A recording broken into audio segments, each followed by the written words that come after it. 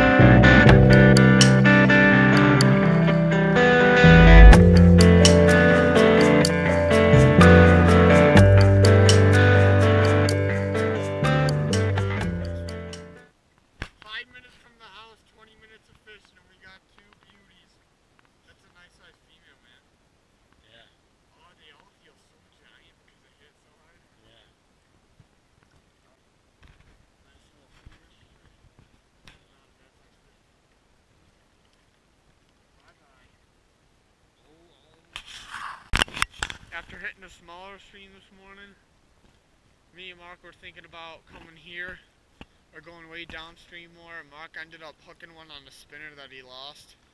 I got a nice one right out of that hole and under that bridge, but Mark hooked him with a spinner right up there in that riffle and it popped him off. But right now he's using a white jig. I'm using the black woolly bugger as usual.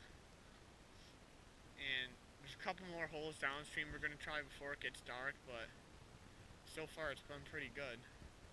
Off to go to church now, but it was a good day. I'm happy I came. I'm happy to fish. So, thanks for watching. Good luck on the water to everyone.